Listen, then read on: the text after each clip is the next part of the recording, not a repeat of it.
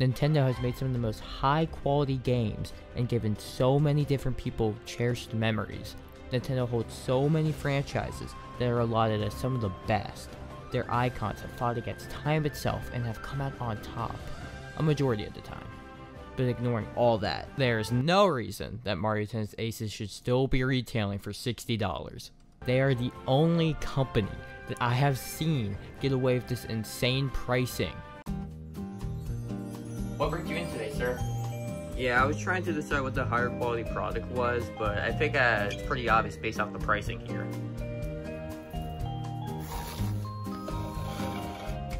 Normally, a couple months after a AAA game releases, its price begins to dip down slightly from a sale or two.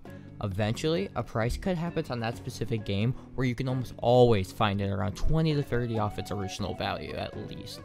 With Nintendo though, a game comes out and it stays and the price stays some more.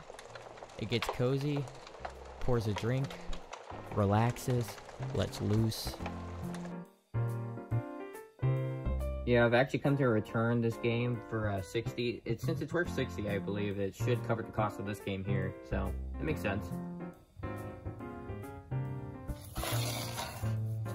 There's a first for everything. Now, while a lot of this pricing is true for Nintendo games on the eShop and in retail, I've started to see a slight break in the price depending on where you look. Namely, it's online or at Walmart, where everything is $10 cheaper for some off-putting reason. The store where they sell peaches sells Kirby Star Allies for the cheapest price out of any other retail store. If you're looking online, however, if you go on pricecharting.com, you'll find a lot of Nintendo games around $15 off from where they normally have been, which is a nice change of pace. But still, this is a far cry from every other company where you can find games like God of War for $15 on a given day. Now here's a bigger question. Why did Mario Tennis Aces launch at $60? This game came out with very minimal content at the same price as Breath of the Wild or Super Mario Odyssey. They should have a tiered pricing system for their releases, which grade by how much game they actually put into their product. Equality matters in everything.